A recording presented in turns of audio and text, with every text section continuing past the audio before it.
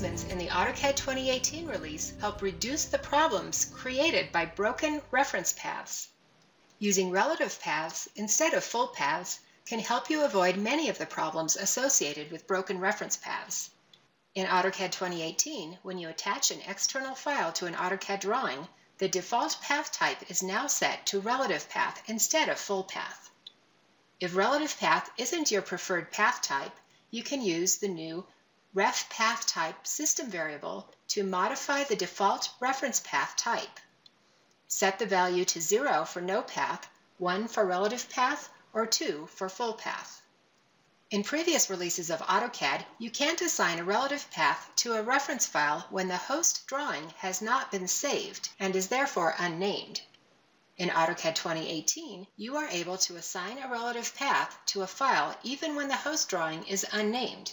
If you select the reference file in the External References palette, the Saved Path column displays a full path with an asterisk prefix to indicate that a change will take place when you save the host drawing.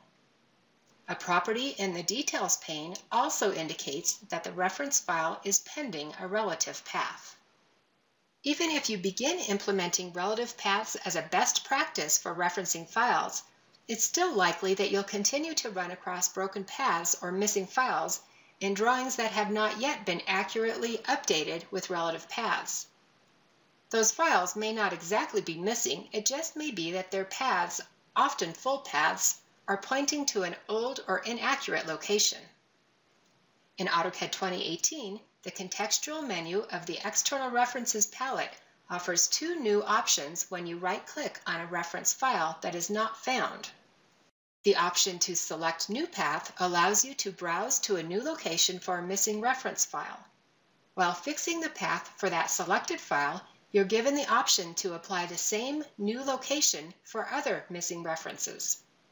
And if your ref path type system variable is set to 1, it automatically converts those XREFs to relative paths even if they were originally full paths.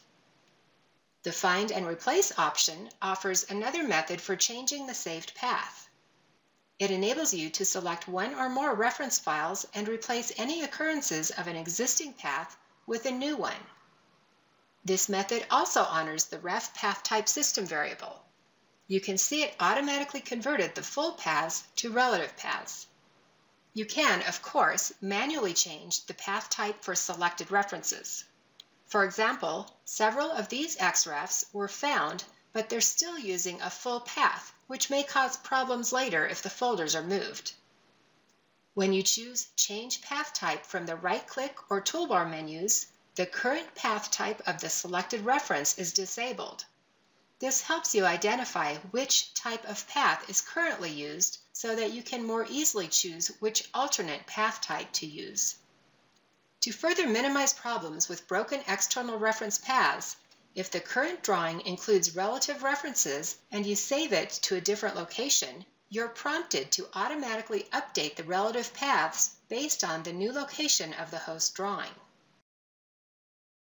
Nested, or child references, now display as orphaned instead of unreferenced if their parent drawing is unloaded or not found. And to further help you identify problems with broken nested references, orphaned references now display in the proper tree view location, even when missing. The Open option is no longer disabled when you right-click on an unloaded reference in the External References palette, enabling you to quickly open unloaded reference files.